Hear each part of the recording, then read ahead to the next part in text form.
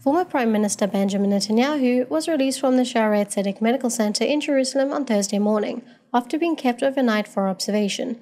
Netanyahu, who was hospitalized Wednesday evening after feeling unwell and reportedly fainting during Yom Kippur services in a Jerusalem synagogue. In a statement from his office Thursday morning, it was said that the former prime minister underwent a series of tests on site that came out as normal and that he was feeling well, adding that he was also already back out on his morning walk. Netanyahu, who is 72 years old, also thanked the dedicated medical staff at the hospital. Meanwhile, Prime Minister Yair Lapid wished his political rival a swift and complete recovery in a tweet sent out Wednesday night. Lapid was joined by other politicians, both from within the coalition and from Netanyahu's bloc, in wishing the opposition leader good health.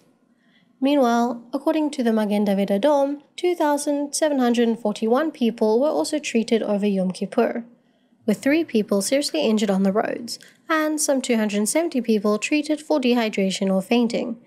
On Wednesday, Jews around the world marked Yom Kippur, the holiest day of the Jewish year. In Israel, this is a day of atonement, where the country essentially shuts down, as religious Jews fast and pray, while secular Jews take to the streets on bicycles. Hi everyone, it's Emmanuel Kadosh. I wanted to invite you all to subscribe to ILTV Plus, where you can find our daily news and updates about Israel. And not only that, but live feeds, entertainment, our kosher food show, and so much more. Needless to say, your subscription to ILTV Plus helps us grow and create more content while also supporting the state of Israel. Our app is available on all platforms and devices, so I'll see you guys there.